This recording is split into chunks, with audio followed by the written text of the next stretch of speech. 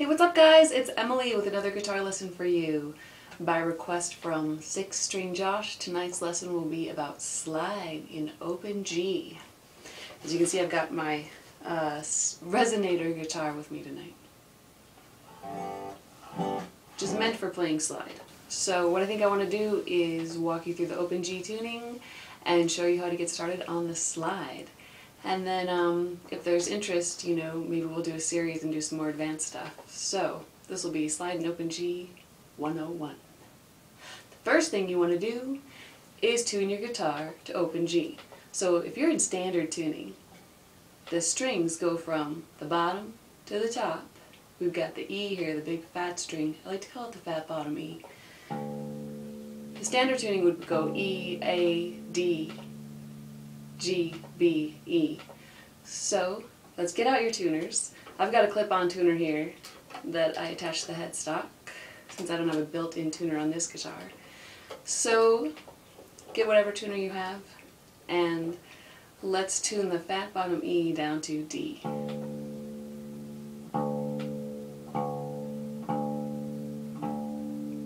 We'll tune your A string down to G. Now the fourth string, the third string, and the second string are all good. But the first string, which is also an E, we'll tune down to D. Our new tuning will be D, G, D, G, B, D. Now we're in open G.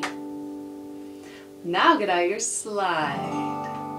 There are lots of different kinds of slides out there. For tonight's lesson, I've got my ceramic slide that fits on my ring finger.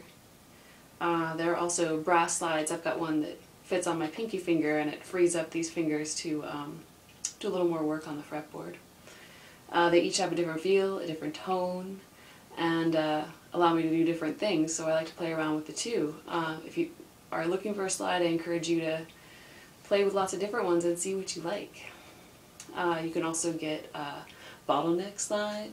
Those are the glass ones that are made out of a beer bottleneck. Um, or the really cool kids like to play with a lighter. So you can improvise with anything that you can use to push the strings down on the fretboard. And once again, here we are in open G. That means that anytime that we strum with the fretboard completely open, meaning we're not pushing down on any of the strings on the fretboard, we're in the G chord.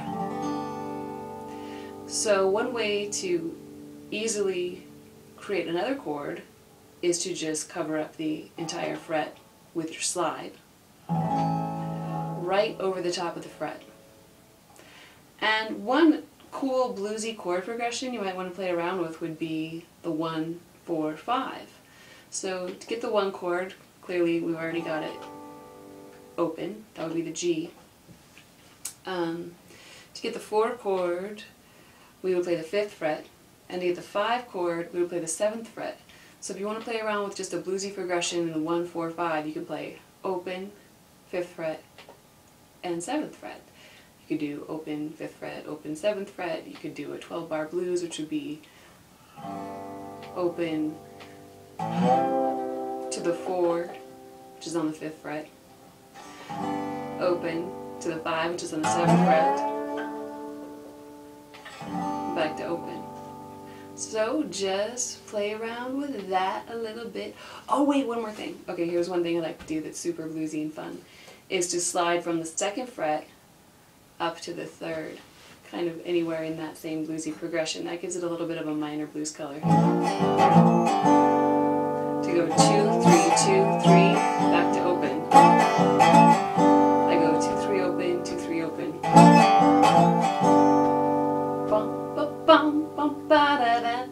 Okay, have fun. Bye.